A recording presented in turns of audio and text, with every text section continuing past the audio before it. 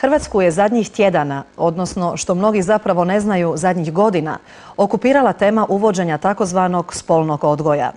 U ovom posljednjem navratu on ulazi na mala vrata, nazvana zdravstveni odgoj. Cijelu smo emisiju posvetili ovoj temi, zapravo jednom šokantnom dokumentarnom filmu koji svjedoči o počecima, o korijenu ove društvene pojave koja ne samo da je uzburkala sve narode svijeta, nego je učinila neopisivo zlo.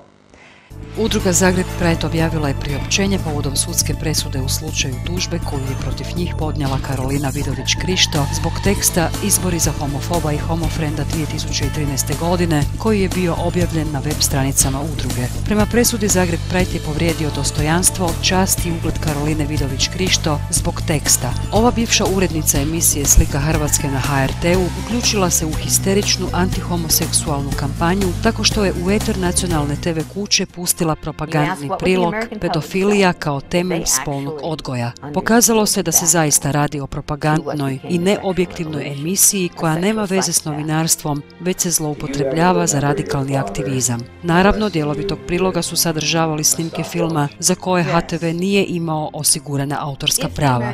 Zagreb Pride dužan je isplatiti neimovinsku štetu tužiteljici Karolini Vidović Krišto u iznosu od 30.000 kuna plus zatezne kamate i odvjetničke troškove odvjetničkom uredu Zvonimir Hodak, odnosno sve ukupno nešto više od 40.000 kuna. Iz Zagreb Prajda poručuju kako ova presuda nastoji onemogućiti njihov rad i cenzurirati njihov glas u borbi za ljudska prava LGBTIQ osoba. Upravo stoga Zagreb Pride će pred Ustavnim sudom zatražiti zaštitu temeljnih prava svih LGBTIQ osoba, kao i svih onih koji vjeruju u jednakost i dostojanstvo svih hrvatskih građana i građanki.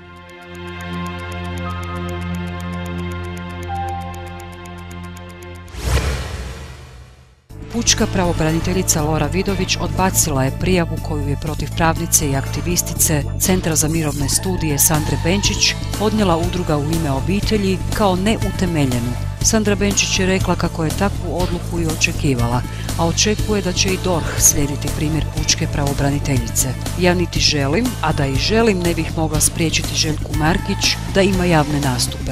Vjerujem da će i DORH odlučiti slično, rekla je Benčić. Iz CMS-a također podsjećaju da udruga u ime obitelji kontinuirano prati organizacije za zaštitu ljudskih prava, analizira što govore i kad im se to ne sviđa, podnose prijave ili prijete prijavama. Tim se načinom šikanira pravni sustav Hrvatske, ali i poziva na korištenje kaznenog progona u svrhu ušutkavanja neistomišljenika kako bi se pridobila medijska pozornost i stvorila atmosfera samocenzure.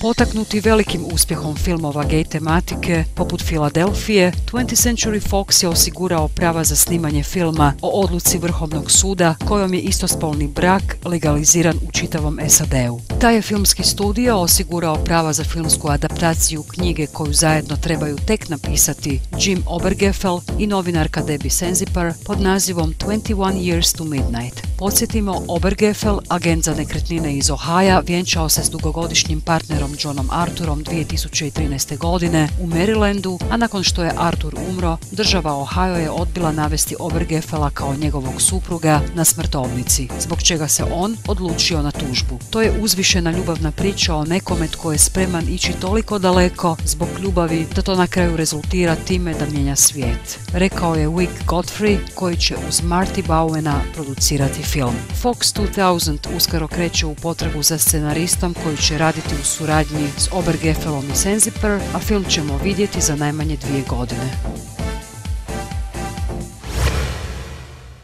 U finalu svjetskog nogometnog prvenstva za žene triumfirala je reprezentacija SAD-a, koja je porazila Japanke s rezultatom 5-2, a među brojnim fotografijama i snimkama koje su obišle svijet, našla se i ona na kojoj Abby Wambach trči prema tribinama i ljubi svoju suprugu Seru Huffman.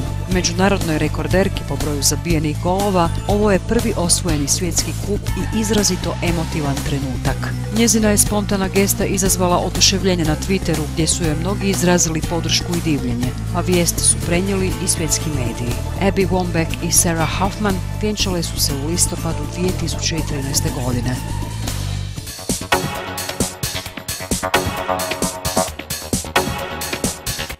Audiovizualni pregled tjednih vijesti Zrcalo tjedna prilagođen je slijepim i slabovidnim te gluhim i nagluhim osobama, a ostvaruje se uz financijsku potporu Fonda za poticanje pluralizma i raznovrsnosti elektroničkih medija.